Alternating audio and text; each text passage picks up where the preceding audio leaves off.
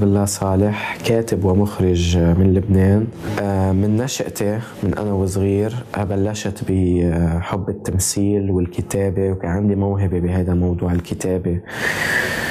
وبموضوع الرؤية الفنية للمشهد بشكل عام أو إذا بنسميه الإخراج أو سينماتوغرافي فبلشت بالبداية بمحاولة فهم الصورة وفهم المشهد. وكنت حب كيف أنقل شيء نص مكتوب للمشاهد ليشوفه. فكنت أكتب النص وكنت صوره ويطلع معي بفيلم أو مسرحية. بلشت بالعمل المسرحي وبعدين انطلقت للعمل السينمائي مشاهدي يعني. عالم الطفولة بتذكر صور الورشني أكتر شيء صور كيف كأنا كنت كنت ولد بس عم بيحاول يكون مخرج أو يطلع رفقاته على المسرح لحتى يمثلوا. كيف كان الأستاذ المسرح؟ يضحك كتير مع أنه هو إنسان كوميدي كان. يعني بيمثل كوميدي بس كان يضحك بس أنا يعني كانت عالم عالم من الكوميدي الكتير. مليء بكتير ظروف من ظروف صعبة وظروف يعني كيف بدي أقول لك؟ ظروف يعني بدها تعب. أنا تعبت كثير لحتى إنه وصلت لهي المرحلة. خصوصا بعدين وقت صرت أشتغل على قصص الأفلام والإخراج كيف ممكن الفيلم اللي بيحضروه لمدة يمكن نص ساعة أو ساعة تخصصت بالأفلام القصيرة لهلأ بعد ما عملت فيلم طويل. فهيدا الفيلم اللي بينحضر على مدة نص ساعة قد إيه وقت شغله قد إيه تعبه قد إيه سهر الليل على كتاب من كتابته من تحرير النص لانشاء القصة لانشاء السيناريو والحوار لتصويره لمنتجته يعني قد إيه هيدي بت, بت بدها شغل كتير وبدها تكلفة كتير وبدها سهر وتعب كتير. فكانت طفولة بالبداية صعبة كتير وانطلقت يعني كل ما سنة ورا سنة كانت تصعب أكثر وأكثر. الأهل هن المشجعين الأول اللي يعني أنا أمي وبي كثير بحبوا إني كيف كيف أقدم لأن بالعكس يعني كانوا كثير يوقفوا حدي أهلي كانوا كثير يشجعوني بشغلي بأدائي وينتقدوني أحيانا كثير إنه لا ما تعمل هيك مثلا. أنا أحيانا كنت شاغل بيي مثلا معي بالإنتاج إنه بابا شو رأيك مثلا الخدمات الإنتاجية للعمل؟ كيف ممكن أنا مثلا وفر أكثر لظبط هون لأعمل هكون أنا المنتج للعمل؟ فكان كثير يديرني وكانت أمي كمان كثير تشجعني بموضوع الحوار والنص وتطلع على النص وهيك أخذ رايها فيه. أنا درست اللغة العربية بالجامعة اللبنانية.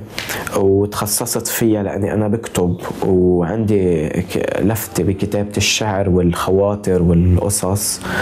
أما الإخراج فكانت بالبداية هواية بس بعدين طورتها ببعض العلوم وبالدراسة الأكاديمية للإخراج ولعالم الأوديو فيزيوال فمن وقتها بلشت شوي شوي أتطور أنا بمجالي و...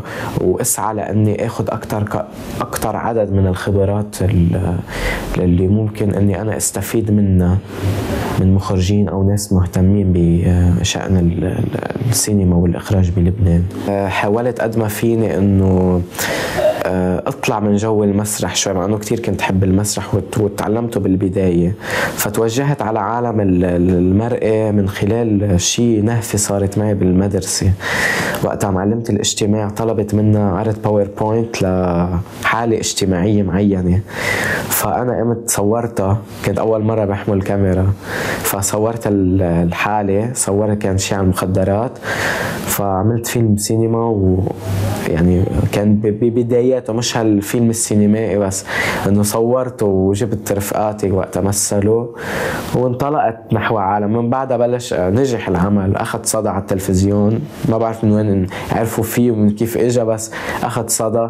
من بعدها حبيت فكرة إنه كفي سينمائيا وكفيت. لو وصلت للعمل الرقم 8 للي هلأ ان شاء الله قريبا حيطلع. آه، طبعا للي شجعني بالبداية بهذا العمل هو أول شيء طموحي إني أنا أوصل للشيء اللي بحبه أو بحب أشتغله المهنة اللي بحب أشتغلها بالبداية. بالبداية الثانية أكيد التوكل على الله والمثابرة بالعمل والطموح آه، لتنفيذ الشيء. أكيد بالإضافة للاهل والأصدقاء وكل الناس اللي ساعدت وشجعتني وقفت حدي من المدرسة من المعلمات اللي كانوا كتير هيك آه، يشجعوني لأنه أنا كفي المشوار اللي أنا بلشت فيه. فهول المشجعين. وكنت أنا كمان احب أتحدى أتحدى حالي بالدرجة الأولى إنه أنا وكنت أقول إنه ما فيني أعمل هيك بس حاول أعملها وتزبط. فقد ما فيني أقول إذا ما حتزبط هلا بدي أخليها تزبط. يعني بدي أحاول قد ما فيني ظبط ال... ال... أعمل شيء أتحدى حالي فيه. مثل ما بيقول الإمام علي عليه السلام إذا هبتم امرا فقعوا فيه. فهيدي كانت البداية.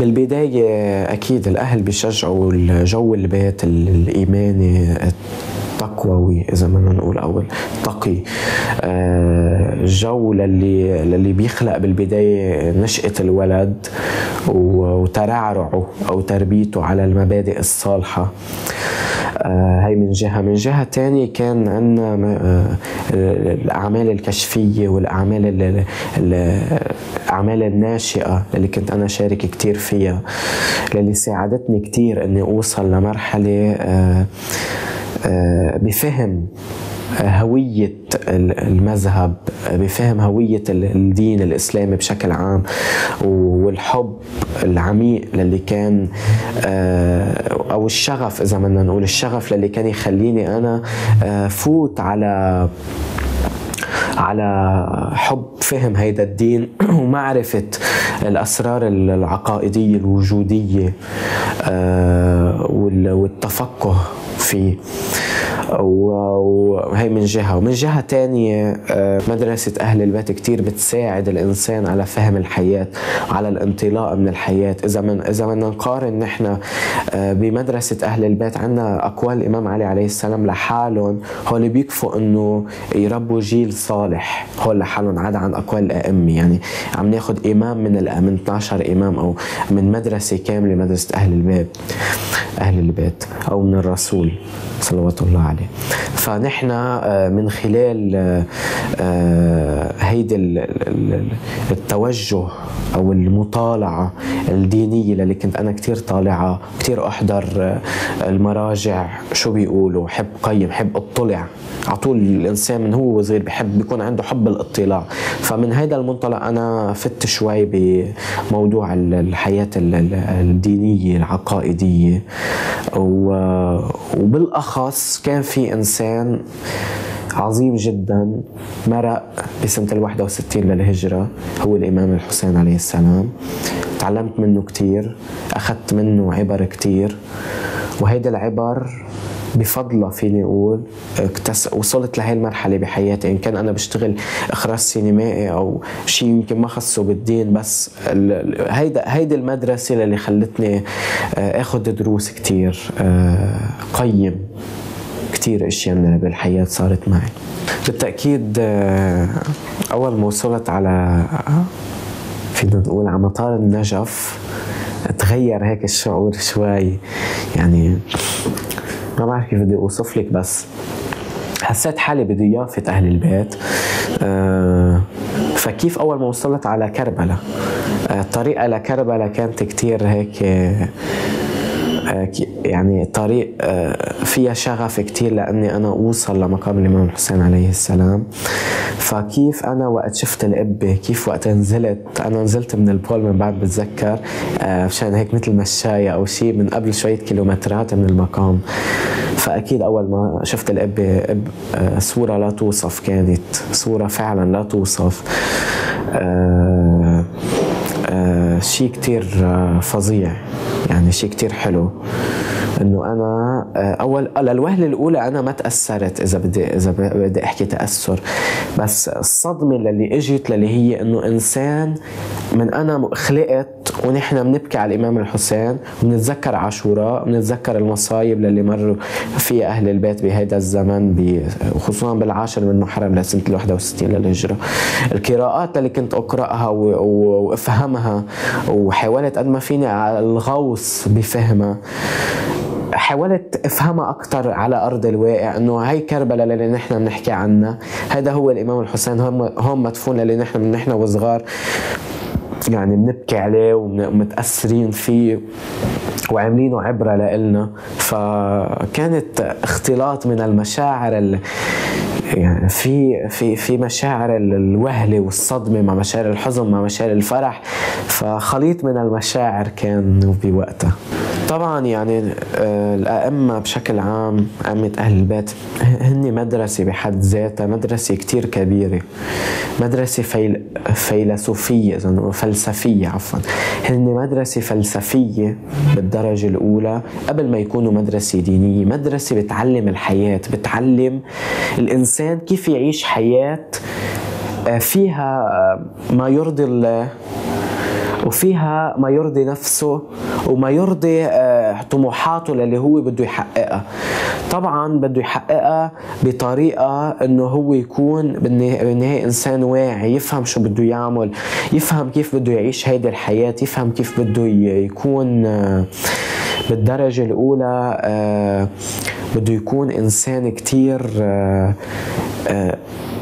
اخلاقي يتعامل بأخلاق بحي... بطريقة لابقة مع الآخرين يعني آه، هيدي المدرسة.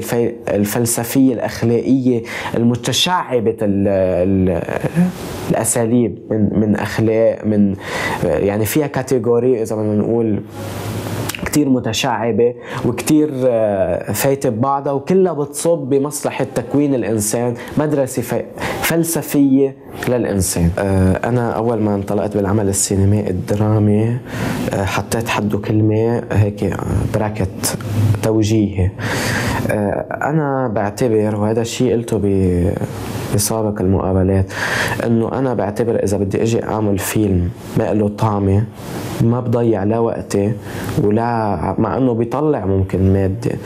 بس أنا ماني مضطر أعمل اي أعمل أي عمل آه، لا يليق أول شيء بالاسم اللي أنا موجود كاسمي ولا يليق بالفكر اللي أنا موجود كفكري وأنا من من الأشخاص المخرجين بلبنان اللي بيقاتل مقاتلة بعد شوي بيلغي المنتج بس لأنه أنا هيك فكري هيك بدي أحط ما بدي حدا يغيرني. يمكن بيقولوا لي إنه أنت لا ما هيك بتضر مصالحنا ببعض الأوقات المنتج هيك بيفكر إنه عنده مصلحة مع بعض الأشخاص ما تهاجمهم بعملك وهن بيكونوا على خطأ. أنا من الأشخاص اللي لا بضل ورا الشغلة لحتى بدي هاجمها وبدي انتقدها لأنه ما بحب الخطأ بالمجتمع. فأنا يعني كيف بدي أقول؟ آه، أي خطأ بالمجتمع بحب صلحه. وهيدا الشيء اللي بصب بالنطاق الديني بالدرجة الأولى اللي هو بنطاق الأمر بالمعروف والنهي عن المنكر. يعني أنا وقت إجي أقول إنه أنا مثلا موضوع لحظة ضياع فيلمي عن المخدرات. أنا وقت إجي أقول إنه المخدرات هي يا خيي هي سيئة ما سيئة على الصحة. بالانسان بالدرجة الأولى سيئة دينيا حرام. يعني أنا لهلأ إذا بنشوف افلامي كلها بتصب في مصلحة إنه هيدا الشيء حرام دينيا أنا عم سلط الضوء عليه. بالدرجة الأولى المخدرات قلنا مثلا المخدرات إنه بتشوه العقل وبتعمل مشاكل وقفات وإلى آخره وتذهب بالإحساس بالواقع إلى آخره. طب أنا المخدرات في ناس مصلحتهم ما مصلحتهم يواجهوا مخدرات لأنه المخدرات بتطلع لهم مصاري. أنا جيت قلت بفيلمي إنه أنا بدي واجه المخدرات. لو المنتج ما بده يواجه المخدرات مع إنه المنتج بيوجه لهم تحية جمعية جاد كانوا مع فكرة المخدرات. كيف بدي اصلح مجتمعي؟ يمكن ما يمكن إجي أعطيهم سورة قرآن إجي أعطيهم قصة أو أكتب رواية وحط يمكن حط أئمة أهل البيت عليهم السلام بالرواية. بس أنا وقت إجي عم بعمل هيك الشباب مجتمعنا وجيلنا ما حيفهم بهيك مش قصة ما حيفهم ما حيتوجه لأنه يقرأ كتاب. مين بعد بيقرأ كتاب؟ للأسف يعني هي ظاهرة متفشية وسيئة جدا صايرة عنا هي بنظري. فأنا لا عبر الفيلم كل الشباب بتحب تحضر الأفلام. وجه يعني فوت المعلومات كم الهائل من المعلومات لدماغ المتلقي لحتى المتلقي آه، خصوصا إذا كان من جيل الشباب يستوعبها ويفهمها بطريقة لينة هو بحبها بين الإمام الحسين عليه السلام والمف... وال... وال... والدين المسيحي آه، كله بشكل عام يعني. أنا عندي أصدقاء كثير مسيحية بشتغل أنا وياهم وبالآونة الأخيرة بعاشورة كنت عم نعمل ألبوم هلأ بنحكي عنه ألبوم عجبا للرادود محمد حسين خليل. أنا من الأشخاص اللي بتفاجأ إنه كثير من الأشخاص الأصدقاء المسيحية اللي عندي أنا بدي أوجه لهم تحية كبيرة. بحط ستيتس أو شيء على الفيسبوك آه، أو على مواقع الصفحات الاجتماعي بحط شيء عن الامام الحسين مثلا أنا برأيي أنا بكتب وجدانيات عن الامام الحسين. فبلاقي أحد الأصدقاء مثلا إلي كاتب لي لبيك يا حسين. آه، شيء كتير عظيم وشيء كتير حلو. كيف إنه عن جد الناس المعتنقي الديانة المسيحية كيف بيفكروا؟ ما بيفكروا من ناحية عقائدية كأنه مين هو الإمام الحسين. بيفكروا بالقصة اللي صارت مع الإمام الحسين عليه السلام بكربلاء.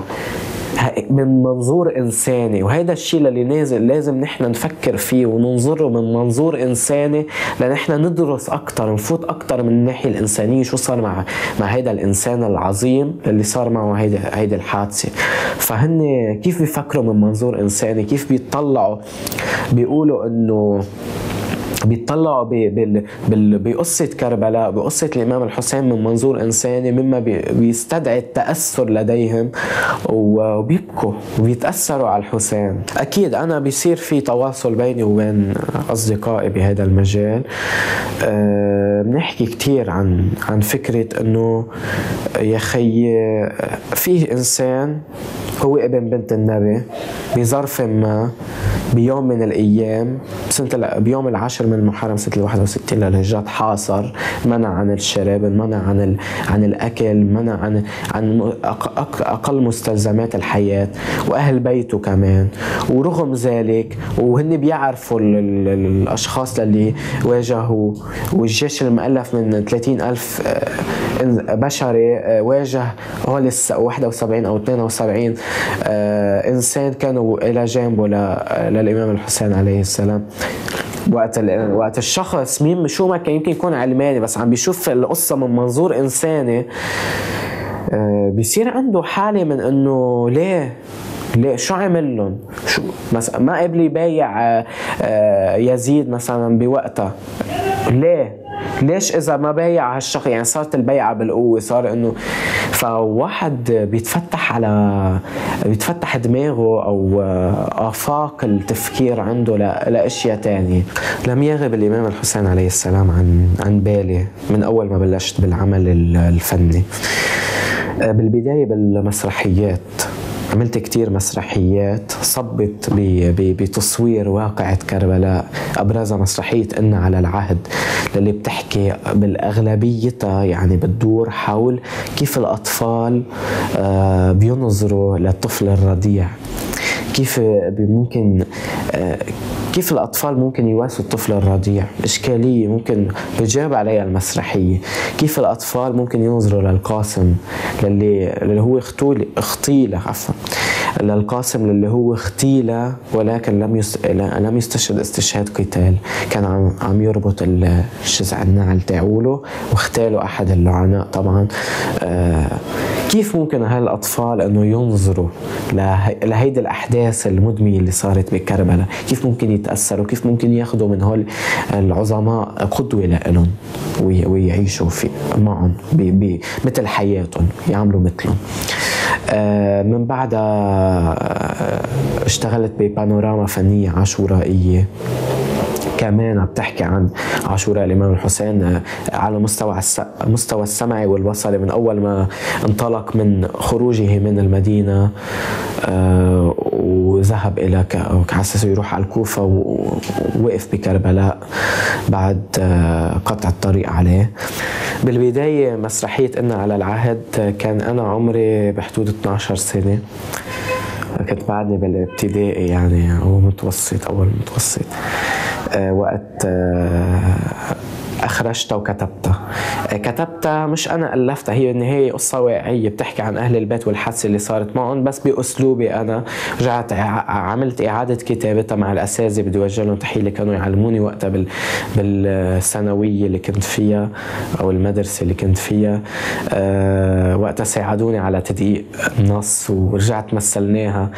فعلا اجى أولاد كثير كان هي للأولاد المسرحية حضروها. أه ما بتصدق إنه مثلا الأساتذة والكرو التعليمي كله صار يبكي. آه، أنا طلعت مبسوطة من المسرحية لشغلة إنه أنا لقيت إنه المسج وصلت.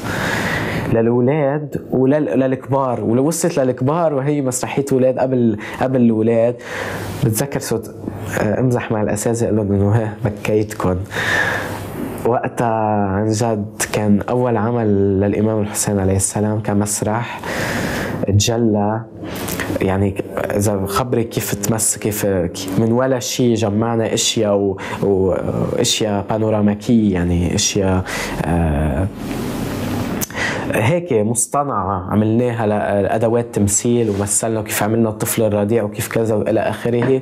وبالأخير عملنا عمل بكى عالم. شوي شوي إنه هي هي عبرة هي عبرة. هي وقت نقول نحن كربلاء عبرة وعبرة فعلا. أنا بدي أقول إنه هي عبرة أكثر ما هي عبرة. هي العبرة اللي بتنزل بتخلينا نشوف تخلينا نوصل للعبرة. فكتير تأثروا وقتها الأولاد والفريق التعليمي بالمدرسة بالمسرحية وانعرضت باكثر من محل وبكذا وقت. من بعدها بلشت شوي شوي بعمل آه، الصوت. فكان رفقاتي صوتهم حلو بالإنشاد والرواديد. على فكرة أنا كان صوتي حلو كنت بلش. بس بعدين أهملت حالي ورحت على عالم الإخراج ف بطلت أشتغل بموضوع الصوت. كنت أقول لطميات أنا وصغير كتير. كنت أعمل مجالس بالبيت عندي كتير. كان كل سنة بعاشوراء أعمل مجلس. أه من بعد هيك بلشت بالعمل آه، تأدية الصوت بلشت أشتغل مع رفقاتي على الصوت. نطلع نعمل أداء يعني يصير مسرحية آه، أدائية آه، بالفكر العاشورائي. يعني يعني بتحكي عن الإمام الحسين بس بموضوع أدائي عمل أدائي على المسرح. عمل مش غنائي عمل مثل لطميات يعني بس أداء على المسرح. فكنت درب آه الأصدقاء اللي كانوا معي آه من بعد يعني بعد ما صرت أكثر نوعا ما بموضوع الاحتراف والخبرة الزايدة. آه دربت آه كذا حدا هلأ صار رادود. آه آه، بلشت معه بموضوع تحسين الصوت وكيف ممكن نحن آه، نشتغل على النفس وإلى آخره بموضوع الصوت. ومن بعدها اشتغلت على آه، موضوع كيف أنا ممكن أعمل شيء للإمام الحسين؟ سمعي بصري فعملت أول عمل فيديو كليب لإلي كان. عن الإمام الحسين عليه السلام. كذا عمل يعني عمل أعمال كشفية ومش على مستوى كتير عالي بس إنه كنت أشتغل أعد ريبورتاجات وأعمل فيديو كليب. فاشتغلت عمل آه، صورنا بالسيدة خولة.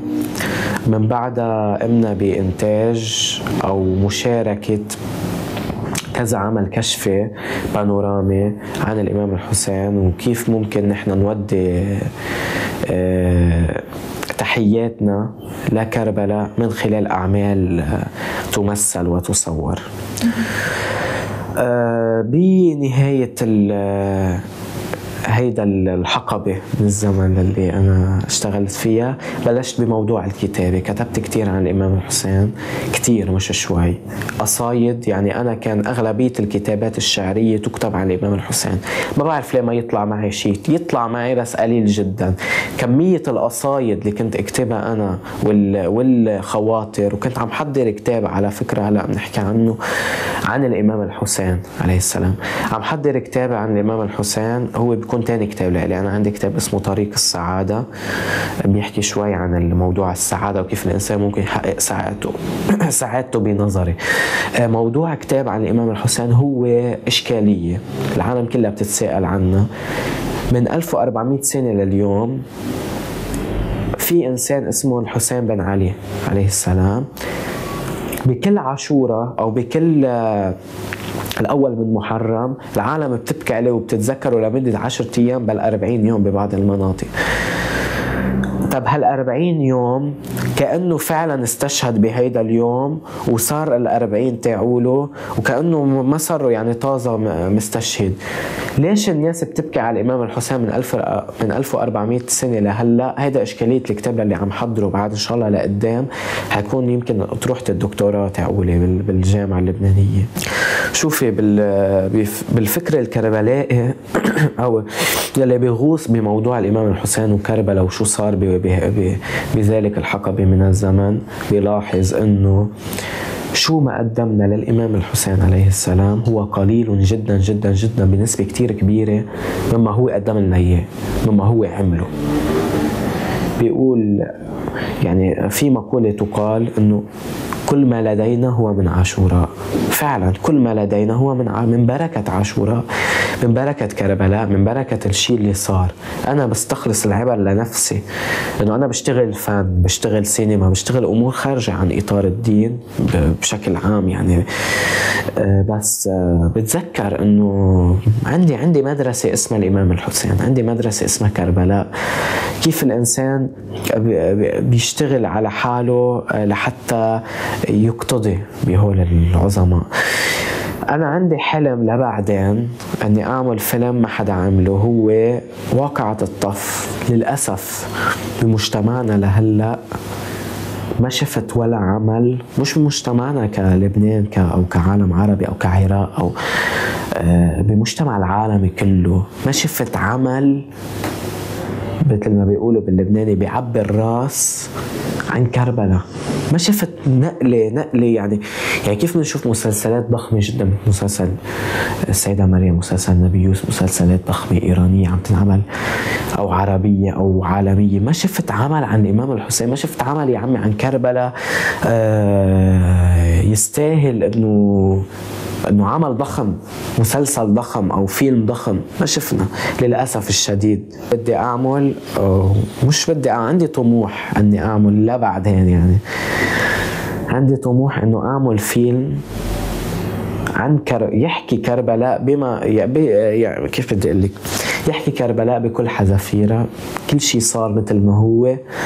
هيدا العمل آه يكون ضخم كتير يوفي على القليلة الفكرة تفوت على عند عند المستمع عند المشاهد هاي للإمام علي كتبتها آه تحت قبة الإمام علي عليه السلام بالعراق يا أيها الصبر هلا بدلوا عليا في الفضاء لي إذا نوم الليالي ما إذا استسكرته يوم التالي ما إذا حملت قرآني وقفت قرأت فضائلا عنه هز جبالي ما سببه ما خبحه في ثدي كيف لأنامي كيف الأولاد تحقق إذا تنفض تنفض الأخبار وتعجز الأمثال. هنا في حفلة البشرية صدى صدى إنه الإحساس والأقوال يا أيها الذي يفصل الشيخ لا أنعيك لا أذكر ما جرى فيك لا الوقوف على الأطلال أمير أمير حسن الذي ولأجله. خلق الإله روحا والأنهار لله ذلكم كما عظيم سرك أنت للوجود سر من الأسرار